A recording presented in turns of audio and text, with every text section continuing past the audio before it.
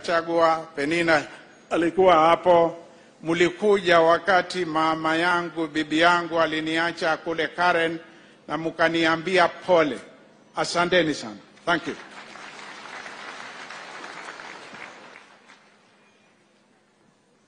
Thank you very much, asanteni.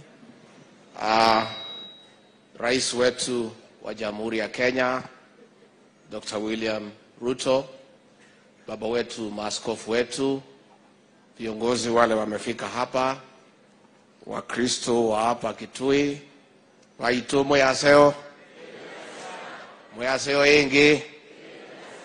Mungu ni mwema na kila wakati.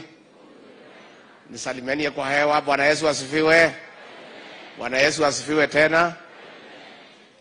Mheshimiwa Rais yetu, ni kushukuru hawa Wakristo kwa kutualika hapa kwa ibada ya shukrani, tukija hapa Kitui tangu tulimaliza mambo ya uchaguzi, tungetaka tuchukue nafasi hii na wakaaji wa Kitui tuseme Rais William Ruto na sisi zote tuko na shukrani kwa zile kura mlitupatia. Asanteni sana. Hata kama haikufika pahali tungetaka, at least mlituongezea ile ya 2017 na tunaona tunasonga tunasonga, na kwa hivyo tunashukuru sana.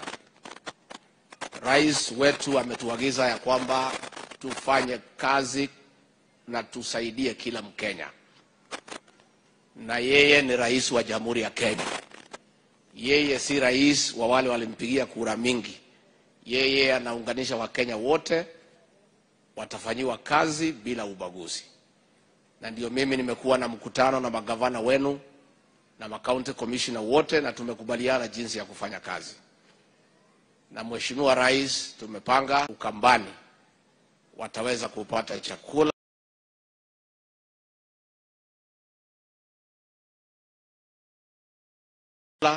Ya kusaidia wale ambayo wako na jaa Yetu ni kuomba magavana wetu na makaunti commissioner na viongozi washirikiane, wasimamie hiyo chakula, ipeanwe na njia ya uwazi, isikuja kupata miguu na kwenda kando, ifikie kila mtu.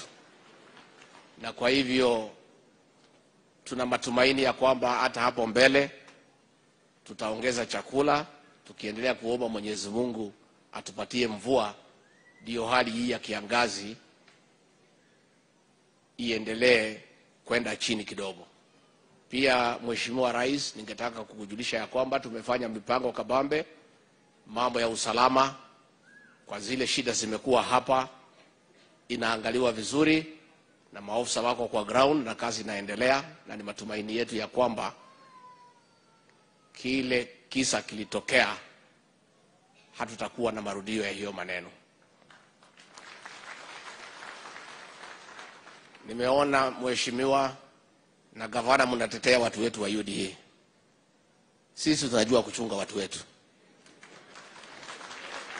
lakini vile ninaona pia gavana unatetea hawa tuwasaidie serikali kuu, hata wewe kwa kaunti tuchukulie wengine utusaidie, ndio tusonge pamoja. Si, si iko namna hiyo? si hata gavana atusaidie? Na huyu gavana ni mungwana, tulitaka akuje pande yetu, lakini siasa hapa ikamchanganya kidogo. Gavana wa Vinya Ndeti, sisi hatuna shida na mheshimiwa Kalonzo, tunamngoja. Nyinyi ndio mtaamua what you want with him because we don't understand him, we don't. Ukweli ni kwamba tulimtafuta tukimtafuta akuje kwetu anarudi kwa ile mzee ya kuzimia. Hata siku ameaibishwa, sisi ndio tulikuwa tunamtetea. Mlisikia nikimtetea? Anaitwa interview, anaulizwa ati jina yako ni nani, lete kitambulisho, bibi yako anaitwa nani, ulibatishwa mwaka gani, kwako ni wapi? Akaangaishwa Aka- lakini yatoki huko. Sasa hatuelewi, si William Ruto ndio rais wa Kenya? Sasa hatuelewi kwa nini anachanganyikiwa. So governor wa Vinya, it is up to you. Since we have no problem with Kalonzo Musyoka, but we don't understand him at all. Ile ameaibishwa, ile alioneshwa akaambiwa ya kwamba ati yeye hawezi lete kura, yule dada ya kwetu ndiye kura. Dada yetu alilete kura yote, si Kalonzo alilete, na gari yako pale. We don't understand it, we don't. Lakini sisi tunamheshimu, tunampenda. Na hatuna shida na yeye, but it is you viongozi ya Ukambani mkae na yeye, you guide him. So, because hao watu ya Ukambani ni watu wazuri they cannot remain in opposition permanently.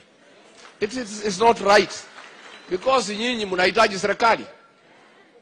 Huyu rais wetu, kwa sababu mimi ni Mkristo, lazima nimwambie ukweli, ama nisimwambie? Mimi karibu tuko sana na yeye juu yenu. Sasa anagawa serikali, kura hapa ni kidogo, amepatia foreign affairs, amechukua amepatia Penina, amechukua amepatia. Nikamuuliza, hii watu na hakuna kura walete, mbona unapatia kila kitu?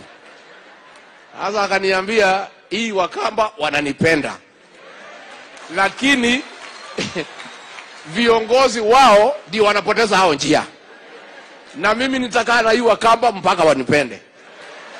Sasa sasa bosi yako akisema namna hiyo, si hata wewe nakubali? Hata mimi nimependa nyinyi sasa, lakini tafadhali, tafadhali viongozi ya Wakambani, please we beg you This area has serious problems ya maji ya kila kitu. These are not people who have any business in opposition. These people should, must be in government. Kwa hivyo nyinyi wavinya Malobe na wengine kama Steven amepotea pale kwa ile mzee ya kuzimia, nyinyi munatosha kuchukua Wakamba mlete ndani ya serikali. You can do it. Ama wakama mnataka kuingia ndani ya serikali ama mnataka kuzimia kule, ama mzimie tu? Mnataka kuja ndani ya serikali? And you know I don't understand. It is clear William Ruto is the president of Kenya. So what choice is there for Kalonzo? This is government, ile ni opposition. The choice is as clear as day from night. So we don't understand. Juzi amekuja pale Mashujadi, tukafikiria amerudi. Jana tumemwona tena amerudi Homa Bay. We don't understand. We are lost. So nyinyi viongozi ya kanisa mtatuambia what to do. We are ready, we are ready for Kalonzo, we are ready for Ukambani, but we don't understand your leader anymore. Mwishoe si uchaguzi umeisha, si tufanye kazi pamoja, tufanye kazi na huyu gavana, si ndio? Na hao waheshimiwa. Makao Mulu umesema vizuri, you provide opposition, keep us in check and we are happy. Tumefika pahali tuko because huyo mzee ya kuzimia aliwacha kazi yake ya upinzani akaingia kwa serikali, tukakwama. You oversight us and we are ready any day. Lakini zile shida ililetwa na hiyo mzee, hiyo msituulize, mtuulize maneno yetu, mtuulize maneno yetu, hiyo tutajibu pahali tumeanzia hii siku thelathini na nne. That you can hold us to account. But ile ilifanyika the five years you cannot ask us. Because wewe na hawa ndio mlileta hiyo shida. So you cannot ask us that problem. Ningetaka ya mwisho niseme tumeambia officers wetu wafanye kazi na viongozi na tumekubaliana. But wakati wa hiyo siasa mbaya kuna machifu waliumizwa. Senior chief wetu pale wa Kisovo ati bibi yake alipatikana na t-shirt ya UDA akasimamishwa kazi. Sasa hiyo ni mambo gani? It is wrong. So wewe regional commissioner, huyo chief arudi kazi because hakuna makosa amefanya. Sasa bibi yako akivaa t-shirt ya UDA, wewe unaweza ulizwa? Kuna mtu anaweza uliza wewe ile nguo bibi yako anavaa? Si hiyo ni mambo ya mama? Let us also be fair to people. Let us not punish people for things that should not happen. How do you punish a chief because of their political activities of his wife? Na kila mtu Kenya ako huru kufanya vile anataka. So wacha tuendelee tukisaisha hiyo maneno, hata nyinyi regional commissioner mjue siasa imeisha. So the wrongs that were done wakati ya siasa tusaishe, ndio we make progress, ndio. Ningetaka niwajulishe viongozi wenu, na nyinyi mume- mmefaidika. Nimemwambia mimi nilikuwa na shida, lakini mkubwa yangu akaniambia nimwachie, he knows what he's doing, na nikakubali tuko na minister wa foreign affairs Alfred Mutua, pigieni yeye makofi. Sasa uso ya Ukambani, the whole of Kenya, mko pale, hata kama kula ilikuwa kidogo, lakini ni sawa, si ndio? Tuko na security, national security advisor huyu Monica Juma, na ni wenu huyu, anaitwa Kadhina, si ni wenu? Eh, mwesema si wenu, Kadhina si ni yenu eh? Haya, tuko na Penina Malonza huyu si William Ruto ameangalia nyinyi, hajaangalia nyinyi. Tuko na chairman wa UDA, chama cha kitaifa, Senator Johnson Mudhama. Sasa hii chama ni yenu, serikali ni yenu. Sasa muamue vile mtakaa hapo mbele, pale mbele, si mtapanga? You will have to see, but this situation is not right. The people of Kambani cannot be led into opposition forever. They need also to be in government. Lakini president wetu amemuleta ndani so that na nyinyi mfurute wale wengine. And it's up to you also.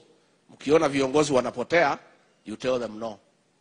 Pale kwetu Mlima Kenya, kiongozi alikuwa anataka kutupeleka kwa kuzimia, tukamwambia hapana, tutaenda kwa William Ruto. Tulienda hatu kuenda. It's also your time to liberate yourself from negative politics. Mkiona kiongozi anapeleka nyinyi mstuni mnapinduka mnaenda pahali iko na asali. Kwa hayo mengi, ningetaka nichukue nafasi hii nimuulize, tusimame kwa heshima, tumkaribishe rais wa